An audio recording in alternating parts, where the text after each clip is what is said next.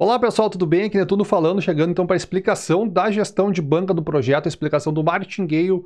Se tu não sabe o que é o martingale, eu vou te explicar aqui os prós e os contras dele e por que, que o martingale é tão mal visto, né? E com razão, ele é mal visto com razão. Eu sabia que na hora que eu botasse ali martingale, a galera ia chiar, a galera já veio, já reclamou.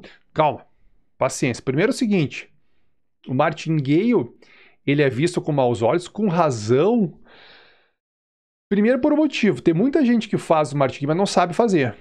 Não sabe fazer. No primeiro projeto que eu fiz do martingale, se eu não me engano, foi 2017 ou foi 2018, a gente ganhou dinheiro. Num longo prazo, ganhamos dinheiro com o martingale. Vamos ver se esse aqui vai se repetir. Tá? O problema do martingale é que a galera faz infinitamente. Nunca para. Se tu nunca parar, se tu não tiver um ponto de saída do martingale, cara, uma hora tu vai quebrar. Fato. Uma hora o martingale vai estourar, independente do que for. Pode demorar tempo, pode demorar mais. Então tu tem que ter um ponto de saída do martingale. Tem que ter um ponto em que tu para, pega a grana que tu ganhou, bota em outro lugar, tira daqui e recomeça ali do zero. Se tu ficar fazendo infinitamente sem fim, tu vai fazer até quando? Até quando ele estourar, porque ele vai estourar uma hora.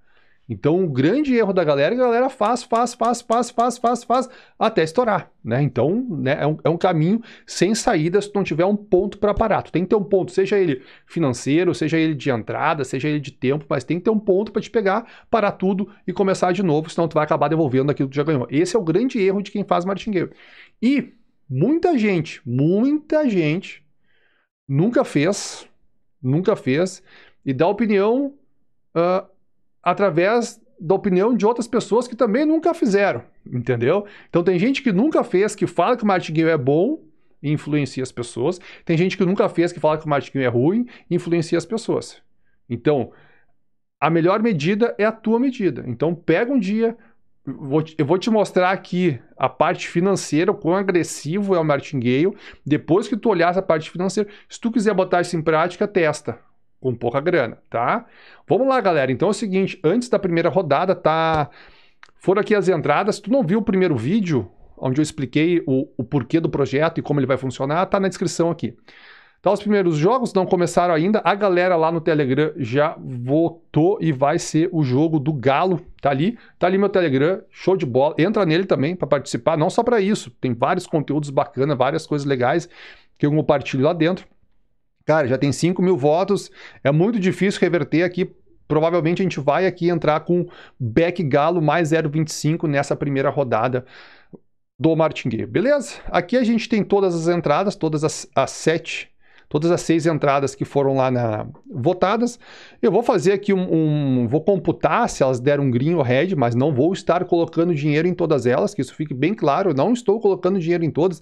Eu já vi gente vai querer fazer múltipla, gente que vai botar um gol a mais aqui para dar odd menor para ter mais chance para múltipla. Gente, cara, cada um aí viaja no que quiser. Eu não vou botar dinheiro em todas as seis entradas, eu vou botar dinheiro no martingale, porque a gente só consegue testar as coisas quando a gente bota dinheiro de verdade. Então eu criei aqui, aqui embaixo tem duas, tu pode acessar essa planilha, tá na descrição também. No momento aqui, ó, tem 45 pessoas olhando a planilha.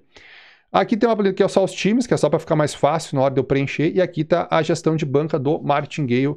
Eu vou mostrar para vocês como é que ela vai funcionar. Galera, é o seguinte, se tu quiser usar essa planilha, tu pode usar, viu? Tu vem aqui em arquivo e tu fazer uma cópia, tá? Daí tu copia ela pro teu computador ou pro teu drive e aí tu mexe nela. Essa aqui eu bloqueei para ninguém poder mexer, senão vai ser uma bagunça. Então, galera, como é que funciona o Martingale? Deixa eu apagar essa coluna do meio aqui da odd. Qual é a minha banca inicial? 10k. Eu vou botar 10k na reta para fazer esse projeto.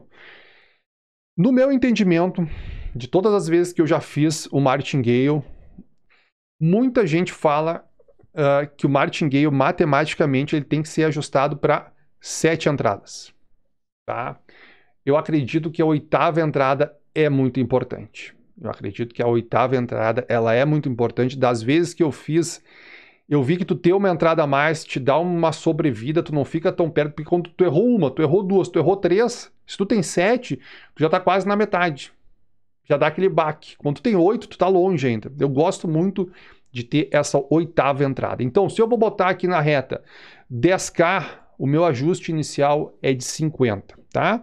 A odd lá, que vai ser feita a entrada, do Atlético Mineiro mais 1,90, Atlético Mineiro mais 0,25 vai ser 1,90. Eu simplesmente venho aqui e coloco a odd que for. Se fosse uma odd 1,98, colocaria 1,98. A planilha aqui calcula automaticamente a stake que eu tenho que colocar naquela odd para ter o lucro que eu quero, que é o primeiro lucro de 50 aqui, perfeito? Vamos deixar aqui 1,90. Digamos que dê head a primeira entrada. Tá? Digamos que deu head, beleza. Deu head, a gente perdeu. Na segunda entrada, o nosso objetivo já é de 105. Digamos que eu vá usar aqui, digamos que na enquete ficou uma odd de, de 2,12. Beleza, vou botar uma stake de 94. Olha onde vai indo. Erramos. Terceira entrada. Deixa eu bater aqui, ó. Terceira entrada. Digamos que vai ser uma odd de, de, de 2 cravado. Beleza. Quarta entrada, a gente já vai para 399 de objetivo. Vai ser uma odd de 1,85. Erramos. Quinta entrada, olha onde é que já foi. Começamos com 50, a gente já está com 869. Vamos botar aqui mod alta, 2,36. Erramos. Passamos de 1K de entrada na sexta. Aqui, aqui a, a perna treme. Aqui a perna treme. Aqui a perna começou a tremer. Se eu tenho a sétima, então, velho, aí, aí já. Caramba. Vamos lá, odd 2 gravado. Erramos. Penúltima entrada, vamos botar uma odd aqui de 2,10 erramos e a nossa última entrada ali vai ser com o objetivo de 5K. Vou botar uma odd aqui de 1,90 também. Erramos. Estouramos o martingale. Tomara que isso aqui não aconteça, né? Galera, qual foi o nosso prejuízo? Né? Isso aqui vai variar porque depende das odds, né? O nosso prejuízo foi todo esse aqui. Ou seja, perdemos 12K se for nas entradas com essas odds que estão aqui. Ou seja, Olha o quanto isso é agressivo. Eu estou te mostrando na teoria como é e na prática é isso aqui. Na prática é isso aqui. O problema é que a galera pensa assim: ah, vou fazer martingale, mas eu não vou começar com. com ah, eu tenho uma banca de 10, mas eu não vou começar com 50, eu vou começar com 250. Cara, se tu começar o martingale com 250, no estouro da oitava, precisa de quanto? De 60k, velho. Porque ele é muito agressivo nessa subida. Ele é muito agressivo. Ou seja, o 10K, cara, estouraria aqui, ó. Tu, não, tu teria cinco entradas. Entende? Na sétima entrada já te daria 15K. Então, esse ajuste, ele tem que ser baixo, velho. Ele tem que ser baixo, senão tu, tu vai estourar fato. Fato. O Bartiguil, ele é agressivo, ele é muito agressivo. Tu, tá, tu começou agora no mundo das apostas, esquece isso aqui. Esquece isso aqui. Não faça martingale.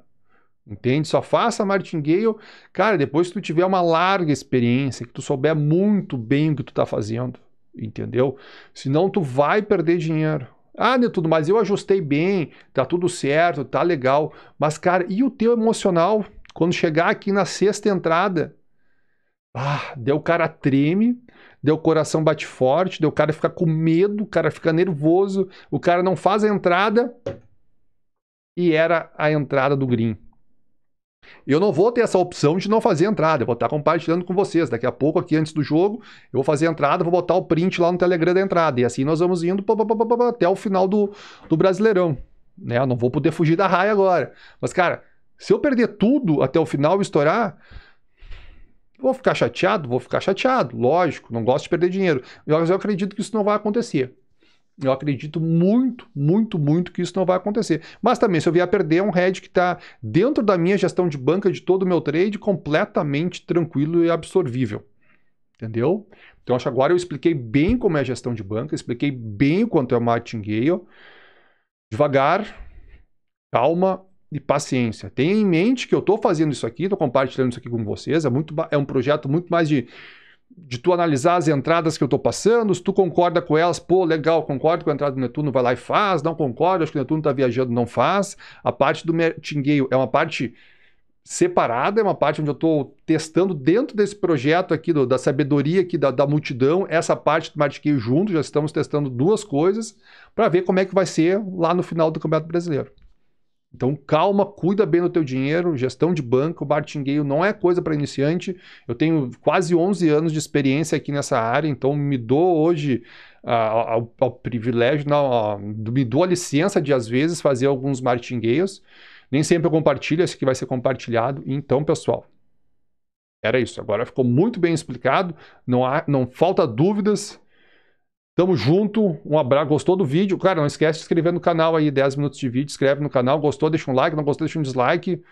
Qualquer coisa, deixa um comentário. Um abraço. Fui. Se falamos. Se fala no Telegram, entra lá.